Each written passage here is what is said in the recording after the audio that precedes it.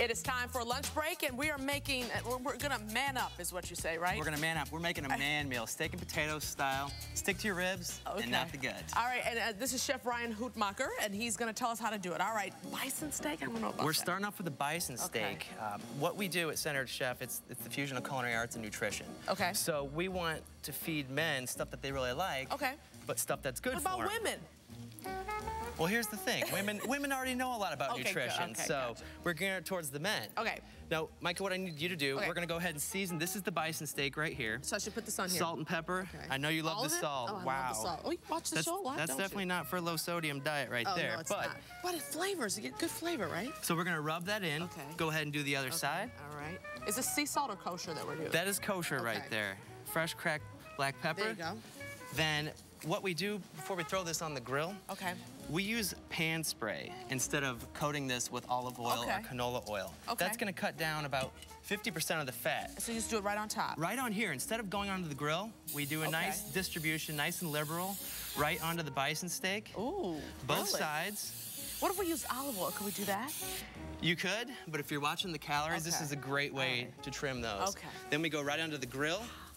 The thing about the grill with the bison steak, it has about half the fat of regular steaks. Okay. So we're gonna go a little bit lower and slower as opposed to the high heat. Really? So it takes a little bit longer to cook this then? It does because we're gonna turn down the heat because it has such Because I little didn't hear fat. like the. It's because it doesn't have a ton of fat. Oh, okay. Are- But, but is some fat good for you though? A little bit. Some fat is good for you, but when you compare this to a regular steak dinner, oh. that's Oh. about 1,500 calories. Oh, We're doing all this in 500 calories. Okay, well, we like that. That's good for the waistline. Okay, and this is kale. I love kale. It is This- so good for you. This is the kale right here. This is a member of the cabbage family. It's Okay. loaded with iron, antioxidants, like of the calcium. It's awesome. You really have to make sure you clean it though, because there's a lot of grit in there. Absolutely. What I like to do is I like to soak this for a while. Yeah, and just then the I go ahead and put it like in a salad sink. spinner. Okay. Yep. And when you're working with the kale, you want to make sure you want to remove Yeah, it's a little tough. the stem, so just the whole stem take off. Okay, gotcha. the whole stem. Some people like to save this. It's great though. Yeah. Um, and what we do with the kale, we're gonna go ahead and dice this up. The kale is gonna go with our grill roasted Yukon potatoes. Okay. And that's gonna go inside of a pouch. Okay. Now, when you look over right here, Oh, here. Oh, cute. I like that's that. That's it. It's grill roasted. Okay. So the thing about Yukon potatoes that's great, they taste super buttery, Yeah, I was gonna but there's not a lot of fat. Taste. Okay. So we're not gonna, we're gonna use just a little bit of olive oil to And keeping hydrate the skin them. on too. Keeping the skin Okay. on, lots of fiber there. Yeah.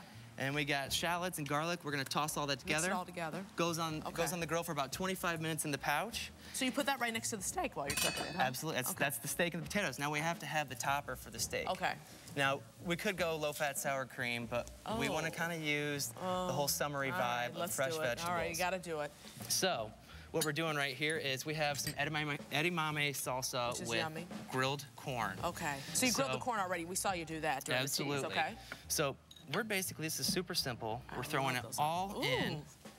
got tomatoes, red onions, Mm. the corn, the salsa, the edamame, and we got the there. parsley and the lime juice. Lime, oh, lime juice. And we can't forget, Gotta have pepper gotta and have, salt. Gotta have salt and pepper. Okay, mix it up. we're gonna mix that oh, up. So lovely looking. And Mike, if I could have fresh. you Taste put that it? on the Oh, green oh, plate right it, there. I thought I was gonna taste it. Okay, the whole thing.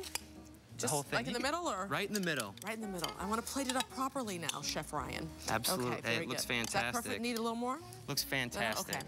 Now, it's gonna complement the steak, but also you could have this as a snack as well with tortilla chips. This is gonna be great for our clients who are endurance athletes. Triathlon weekend. Very nice. Something super clean, healthy, very and fresh straightforward. tasting. Okay, let's get the steak out because we gotta go. You got it.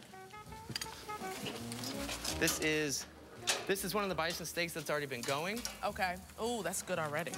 So as you can see, this one's ready to go. While you're pulling that out, we're going to tell folks where they can find you at the Centered, Centered Chef Food Studios, which is 17, 1715 West Chicago Avenue in Chicago. There's a phone number. You can also just log on to our website, wgntv.com slash lunch break. Okay, it's time to taste. Can I taste? Give- Give me a little something here. You're gonna have to cut that open with a knife. Here, I'll just use this. There you go. All right, just do a little bit. Let's see. Okay, I'm tasting the bison. Here we go. That is very good. Closed captioning for